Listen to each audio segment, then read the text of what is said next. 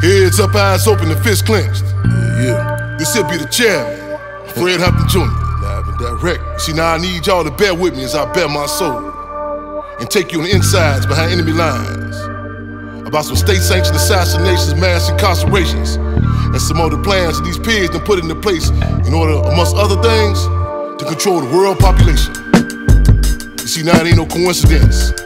A lot of y'all cats don't even know about the infamous COINTELPRO shit. G-Men, government hitmen, directed by Director J. Edgar Hoover and his hitmen. Political frame-ups which they still got out of cats politically caged up, killing us and hitting us with more than just a gun. And some names which for legal reasons I can't even mention is still on the run. Now imagine if you will, the same goddamn government brought in all the dope, putting your picture on a poster, placing the bounty on your black ass with the words wanted blazing across the daily news front page. Your face being placed right up under an institution issue scope. See, we talking about a bunch of bad motherfuckers who were looking for number one ducking no motherfucking trouble. Shit. Go getters and hard hitters who gave us free medical centers.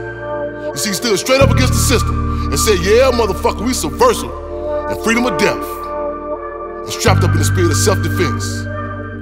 Free clothes and free busing programs, first free breakfast programs, armed with a political ideology that withstood the test of time and a 10 point platform.